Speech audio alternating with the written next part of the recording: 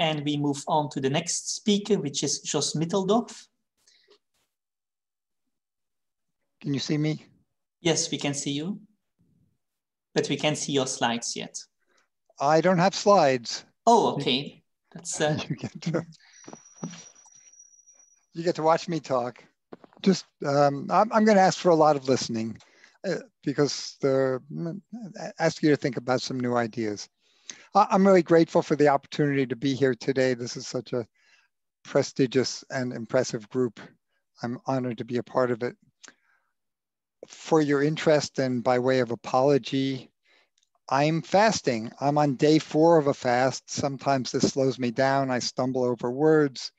Um, it's part of my own anti-aging therapy. So to begin, I want to talk about my favorite topic, which is the Data Beta project. It's about to get off the ground after long delays. We're hoping to start recruiting subjects in November. This is a community-based study designed to screen for anti-aging interventions already in use that have large effects, at least 20 years of life extension. So 20 years, you might say, if such things exist, we'd certainly know about them already. I'd say not necessarily. This field is moving very fast.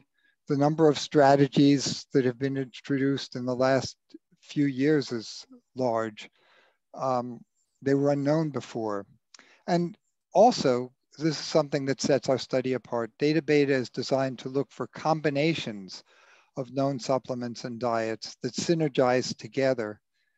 The premise is that most supplements and diets are based on a small number of pathways, so their action is probably redundant. For example, if we're taking metformin and also fasting, uh, we don't get extra life extension from one compared to the other.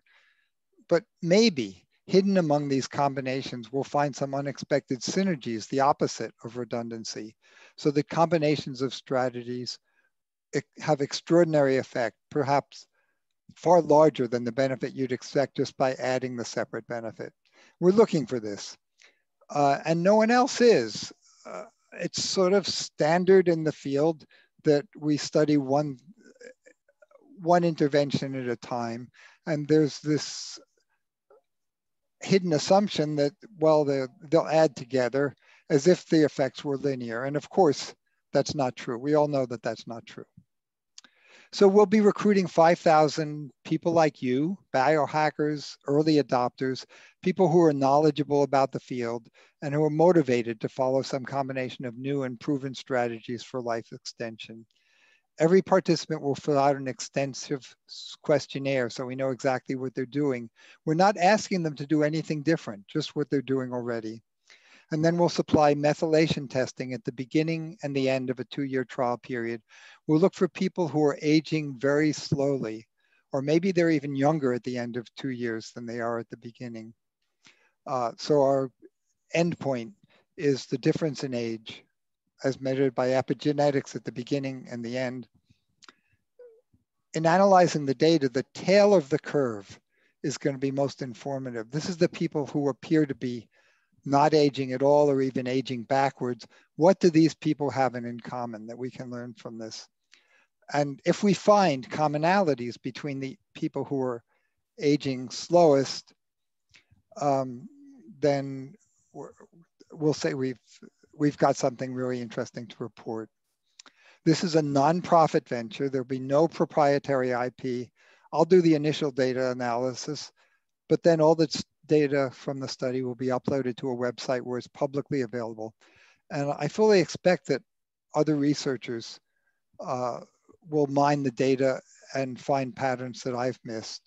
So it's in that sense a large scale collaboration. Another sense in which is a collaboration. This is crowd funded. Again, people like you. I've seen a lot of interest already, or maybe a major funder will step forward and boost the um, project along. In fact, progress thus far has been made possible by a generous startup grant from DDA, and I'm really grateful for that. And there's also been cooperation with uh, my partners in this, my project manager, Walt Crompton, partners at McGill University, Moshe Szyf, and my daughter, Sarah, who's injected some energy to push us over the starting line. So now for the main feature, which is about theory and biomarkers, which is like what I signed up to talk about. Another name for biomarkers is surrogates.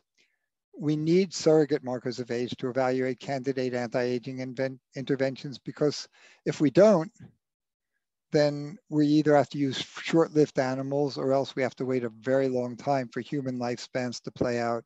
So there's a strong motivation to find surrogates. But then choosing the right biomarker becomes crucial. We want something that's highly correlated with age, but that's not enough. We really need to understand the fundamentals of aging before we can have confidence in any surrogate. So a trivial example, the lines in a person's face are pretty well correlated with age. But if we use this for a surrogate, then no one would say that getting a facelift was an anti-aging intervention. We're pretty confident that facelifts don't make people live longer. This is a trivial example, I know, but it helps us to think, why isn't wrinkled skin a suitable surrogate to evaluate aging interventions? One answer might be because no one ever dies of wrinkled skin. People die of heart disease, cancer, and Alzheimer's dementia. So we might be motivated to look for surrogates that are connected to these, maybe arterial stiffness and HDL are markers for heart risk. Maybe cognitive decline is something we could measure as a marker for AD. Colon polyps, pap smears, PSA tests uh, are markers for various kinds of cancers. But this gets very complicated. And we notice that all these problems are downstream results of aging, not upstream causes. So we're motivated to look upstream for causal factors that lead to all three of these things. For example, inflammation is measured by CRP and IL-6. Inflammation contributes to all diseases of aging. Decline of the immune function is always is also an upstream cause and perhaps the loss of brain cells, muscle cells to apoptosis. May, this may be another upstream cause. Can we go further upstream?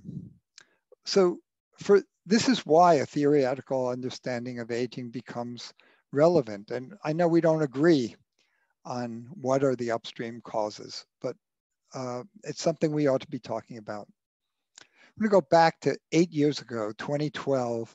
I was one of several people scattered around the globe who started to speculate that changing gene expression was a primary upstream cause of aging.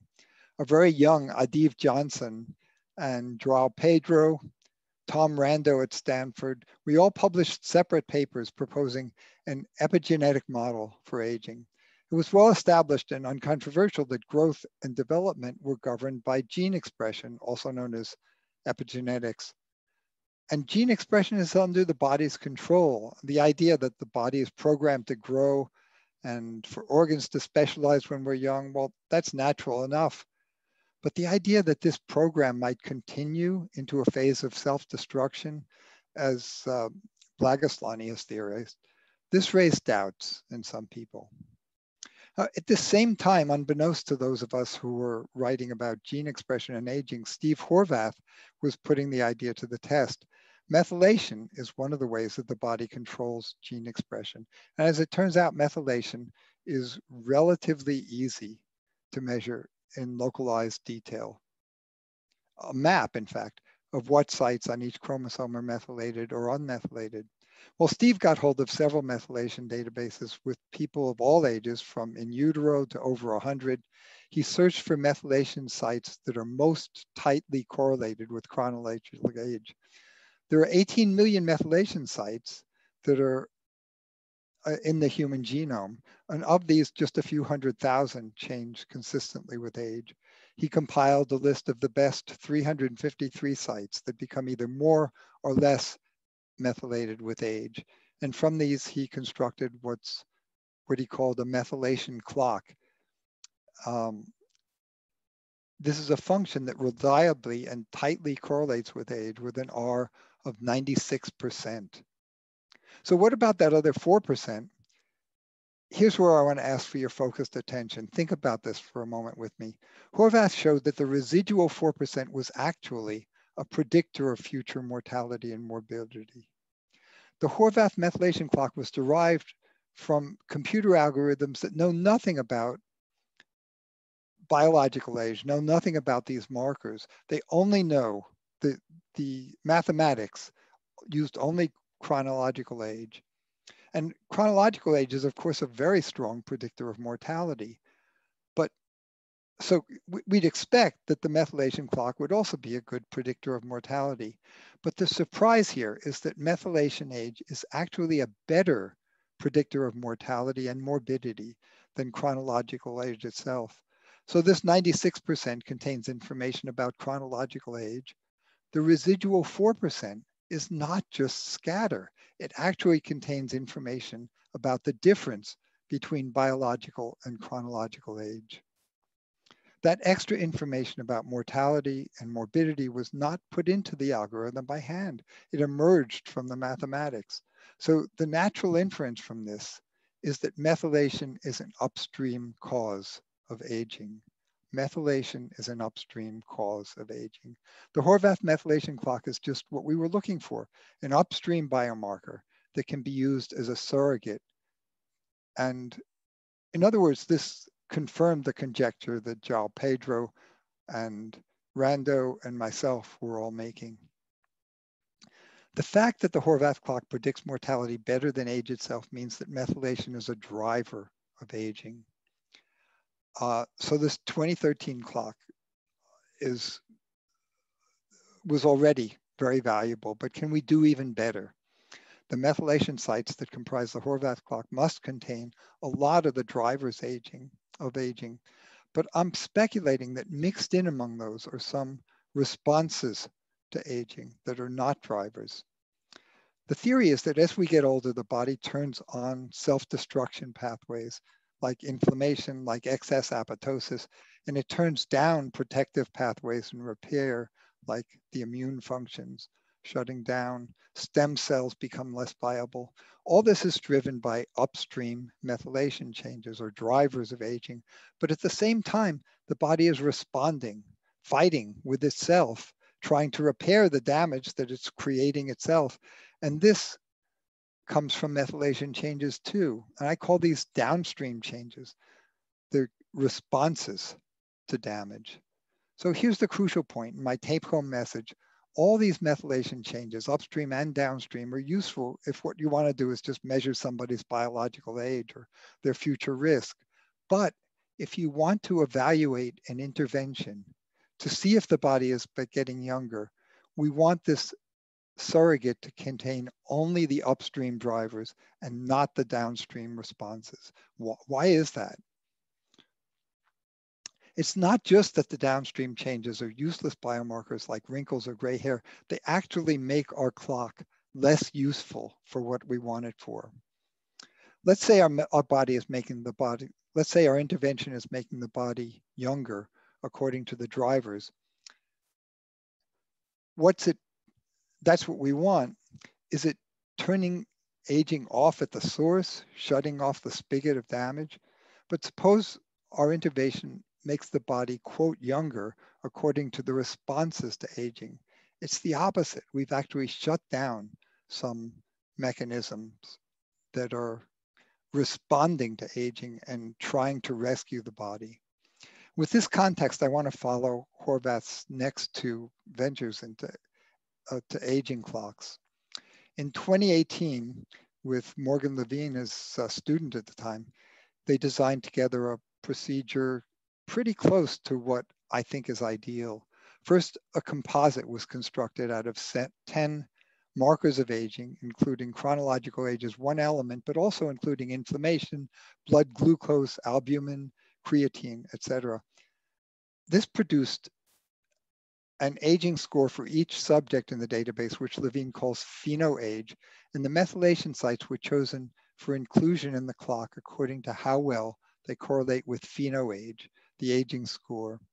this clock was explicitly enriched in drivers. So phenoage predicts mortality and, morbidity better than chronological age. And remarkably, the phenoage methylation clock predicts mortality and morbidity even better than phenoage itself. So phenoage is the raw markers. The phenoage clock is the methylation associated with these markers. And the phenoage methylation clock does better than phenoage as a predictor of mortality and morbidity. Um, I, I think the phenoage clock is the best one that we have now. Um, I wanted to talk about the Grim age clock, which I think is actually a step backwards. It illustrates um, a procedure that enriches the the clock in responses to aging rather than drivers. For example, the Grim age clock depends on the smoking status of the person. And there's a methylation image of smoking.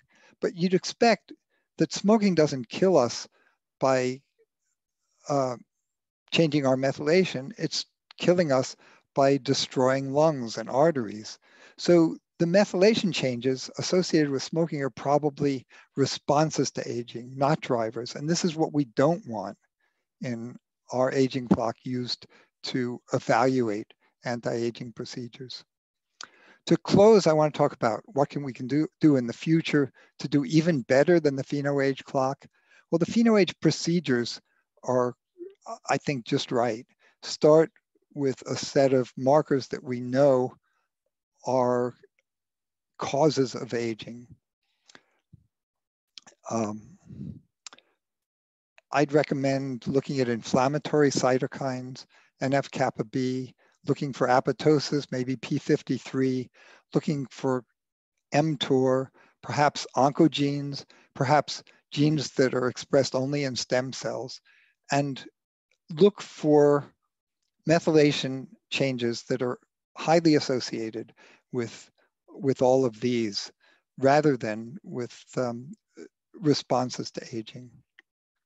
And second, to improve on the Horvath clock, all the Horvath clocks are linear. They're designed to work from womb to tomb. And we know that the genes that are turned on and off during childhood are very different from those that are turned on and off later in life. We should have separate clocks for development and aging. Or if you like, we could have a single nonlinear algorithm that just uses different methylation sites at different ages. Now, this is a substantial opportunity for improvement. And I know people at um, Elysium have done that with their index clock. And third, there are separate positive coefficients and negatives coefficients in the Horvath clocks. We should optimize a methylation clock that just uses the positive co coefficients and just the negative coefficients, and then re combine those two later on. And this will prevent the cancellation of large positive terms with large negative terms, uh, which I, I believe it throws a monkey wrench into the optimization process, which has been used so far. So in conclusion, the present generation of methylation clocks are already really good. They're getting better every year. And I'm confident we can make a methylation clock that's even better. And it will be everything that we need to evaluate candidate anti-interventions, anti-aging interventions in the future. And um, that's, that's what we all need. That's what we're here for. Thank you. Okay, thank you so much, uh, Josh. Um, let's see if there is some question. Um, mm, wait, um,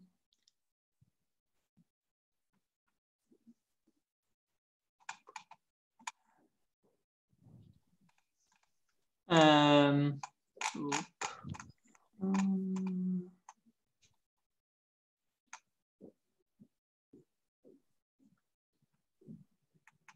Yeah, I think that there are some people who are asking, of course, um, if methylation drives aging, then what drives methylation? Is it the chicken or the egg problem we are running into here?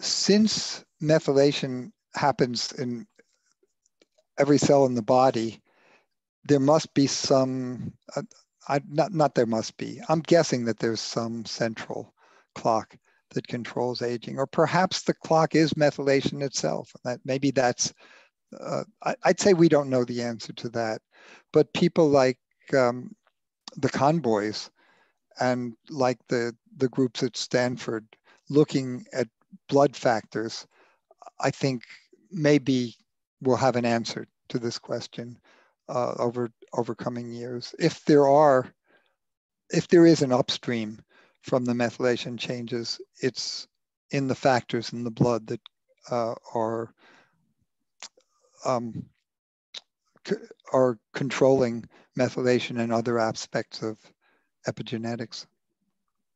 Okay, thank you so much.